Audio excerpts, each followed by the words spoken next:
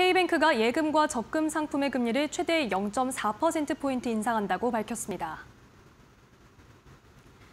먼저 코드K 정기예금 상품의 경우 가입기간 1년 이상은 연 2.1%에서 연 2.4%로 0.3%포인트, 가입기간 36개월은 연 2.4%에서 연 2.8%로 0.4%포인트 인상합니다. 코드K 자유적금의 경우 가입기간 1년은 연 2.4%에서 연 2.6%로 0.2%포인트, 가입기간 3년은 연 2.6%에서 연 3%로 0.4%포인트 올립니다.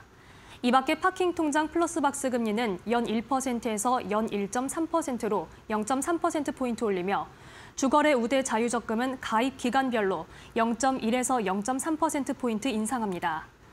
K뱅크 관계자는 고객 혜택을 확대하기 위해 상품별로 기준금리 인상폭 이상의 금리 인상을 단행했다고 말했습니다.